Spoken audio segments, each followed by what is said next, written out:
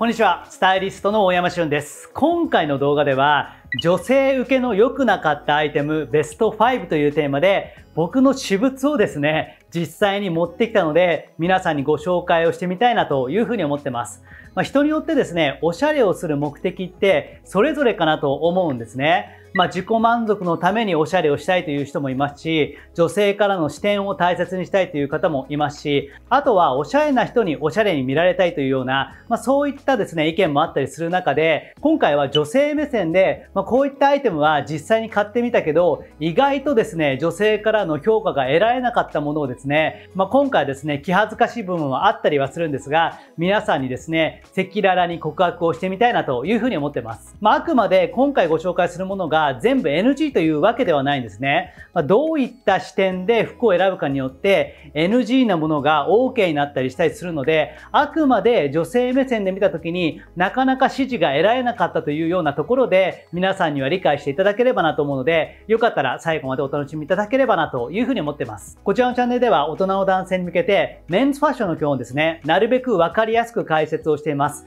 もう少し中級者向けのアイテムですとかコーディネートの解説に関しては僕がもう一つ運営してます YouTube のメンバーシップチャンネルの方で解説をしてますので気になる方はですねこちらの動画の下の概要欄にリンクを貼っておきますのでそちらからチェックをしていただければなというふうに思ってます。それでは早速行ってみましょう。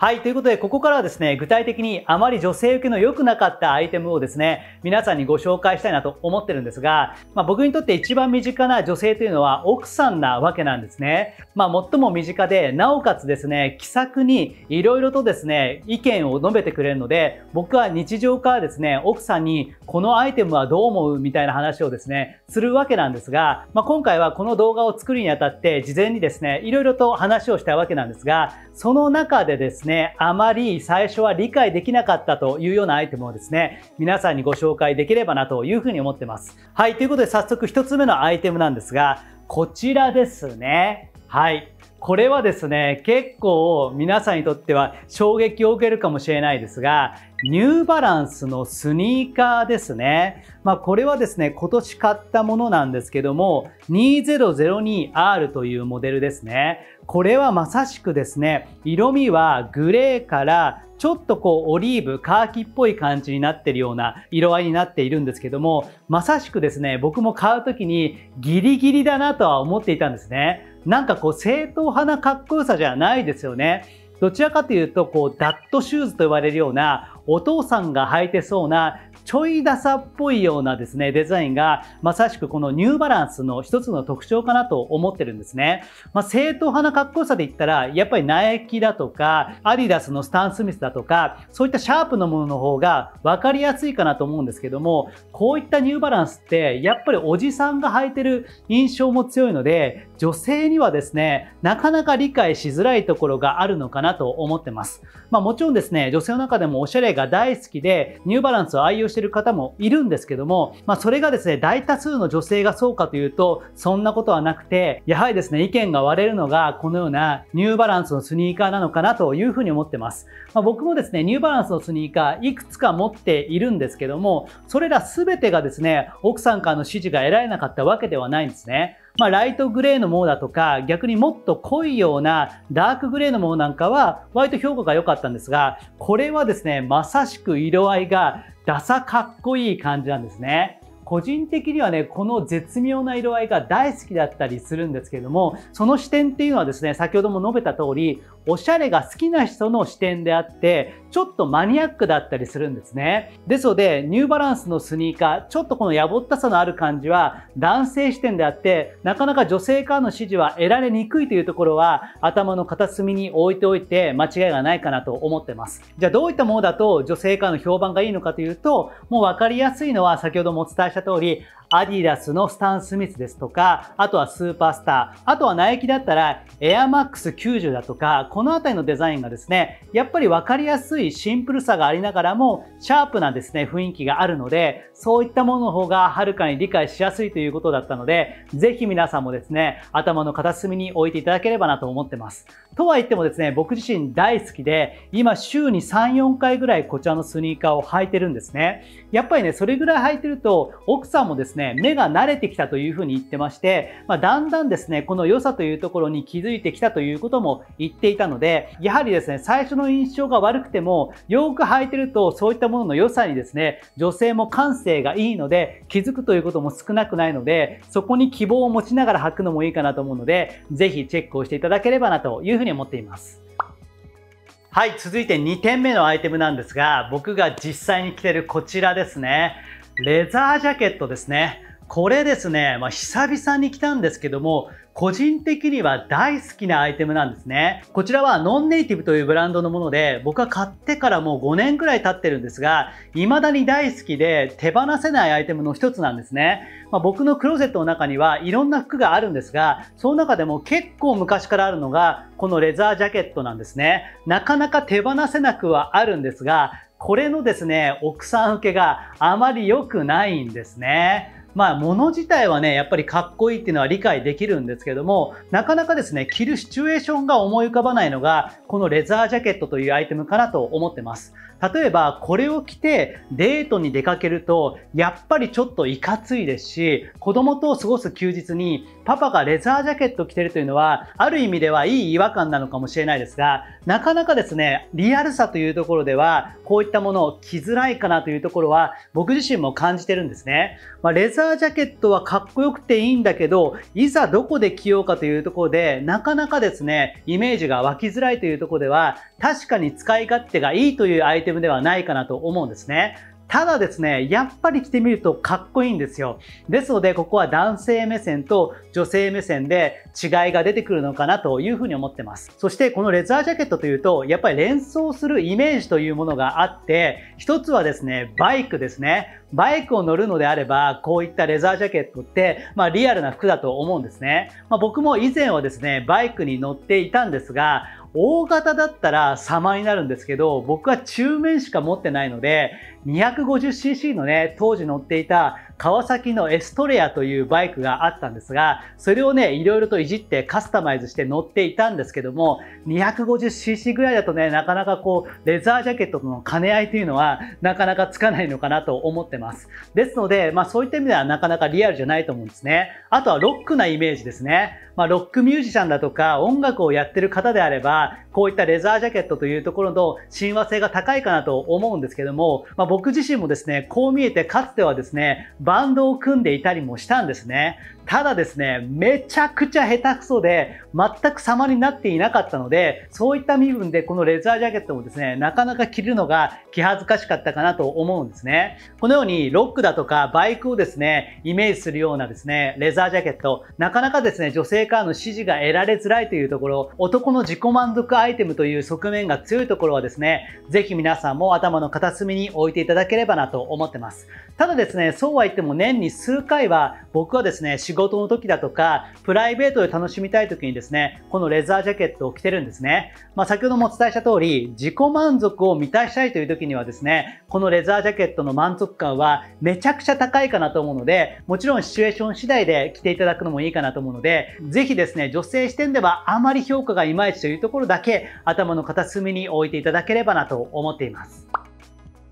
はい、続いて3点目のアイテムはですね、僕が今着てるようなインナーダウン系のアイテムですね。これがですね、なかなか理解が得られなくて、奥さんからはそんなに評判が良くないんですね。ただ僕は結構大好きで、去年買ってから今年のですね、1月2月ぐらいはですね、割とよく着ていたんですね。まあ、僕もですね、奥さんからの意見を取り入れることもあれば、まあ、その意見もわかるけども、自分が好きだから着続けるというアイテムもあるわけなんですが、まさにこちらのアイテムなんかはですね、それに該当するのかなと思ってます。まあ、このようなですね、インナーダウンって、やっぱり正統派のかっこよさではなくて、ニューバランスと同様に、どこかですね、ダサかっこよさみたいなものがあるようなアイテムかなと思うんですね。女性視点で見ると、こういったものって、なんとなく作業着っぽく見えるみたいなんですね。まあ、キルティングジャケットみたいなものもそうなんですけども、まあ、こういったちょっとクラシックな感じが相撲っていうのはですね、意外とですね、女性からそれかっこいいのかダサいのかよくわからないという意見が多かったですので、意外と注意が必要かなと思ってます。まあもちろんですね、この上にロング丈のコートを着たいだとか、まあそういった形でまさにインナーダウン的に使うのであれば、そこまで目立たなくて悪くはないかなとは思うんですが、ただこれをですね、主役にしながらの着こなしは、なかなかですね、女性からのですね、共感が得られないというのを実感しているので、注意が必要かなと思ってます。ただですね、僕はやっぱりこういったなんか正統派じゃないものこそですね、おしゃれに感じたいだとか、愛着が湧いたりするので、このユニクロ U のですね、インナーダウン、めちゃくちゃ好きなんですね。ですので今年もガンガン着て奥さんの目を鳴らしたいなと思うんですが、ただ一般的に女性視点から見ると、なかなかですね、評価が得られなかったかなというところは、僕も頭の片隅に置いておきたいなというふうに思っています。このようなですね、ちょっとスポーティーなアウターであったら、やっぱりですね、こういったインナーダウン系よりは、通常のフード付きのダウンだとか、あとはナイロンジャケットですね。こういったものの方が、やっぱりはるかにですね、女性からの印象が良かったりするので、もしですね、保温性を求めながらもですね、スポーティーなものを着たいのであれば、ナイロンジャケット系が間違いがないかなと思うので、ぜひそちらの方もですね、頭の片隅に置いていただければなと思っています。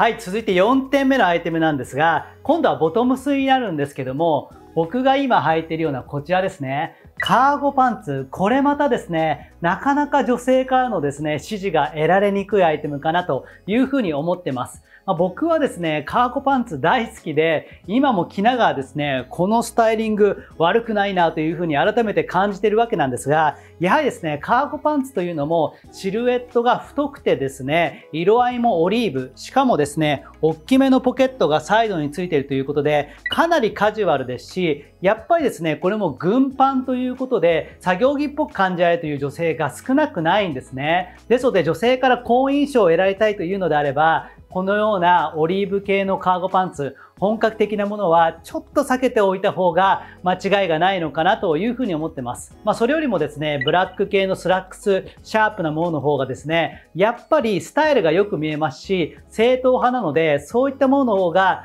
印象がいいのかなというふうに思ってます。とは言いつつですね、僕も大好きでこういったカーゴパンツよく履いたりするんですね。まあ、最近はですね、このようなパンツがちょっと旬にはなっていまして、ジャケットと合わせてみたりだとか、まあ、シャツアウターと合わせながら、ちょっとミリタリーな感じを楽しむというのも全然ありかなと思うんですね。ですので、自己満足というところを重視しながら、存分にファッションを楽しむのであれば、僕はカーゴパンツめちゃくちゃおすすめですし、僕自身も履いたりはするんですが、ただですね、女性視点から見ると、作業着感が強くて、あまり印象が良くないというところは、ぜひ皆さんも頭の片隅に置いていただければなと思っています。はい、続いてラスト5点目のアイテムなんですが、小物ですね。これまたですね、なかなか支持が得られづらかったアイテムなんですが、何かというとですね、白ソックスですね。これもですね、僕はもう数年前から履いているんですが、やはり最初履いた時はですね、かなりですね、奥さんから評判が良くなくて、靴下どうしたのという形で言われたんですね。まあ確かにですね、今から3、4年ぐらい前だと、白ソックス、まだまだですね、トレンド感としてはそこまで強くなかったですし、そこまで履いてる方は多くなかったかなと思うんですね。まあそれよりも学生のイメージが強くて、どうしてもですね、僕ら大人世代が履いてると、なんか雰囲気に合わないということで、結構女性からのですね、印象は良くなかったアイテムなんですね。まあ最近だと割とですね、セレクトショップだとか、あとはユニクロなんかでもですね、こういった白ソックス売ってるので、だいぶ以前に比べると市民権は得られたかなと思うんですが、それでもですね、めちゃくちゃ印象がいいアイテムかなというと、そうでもないですね。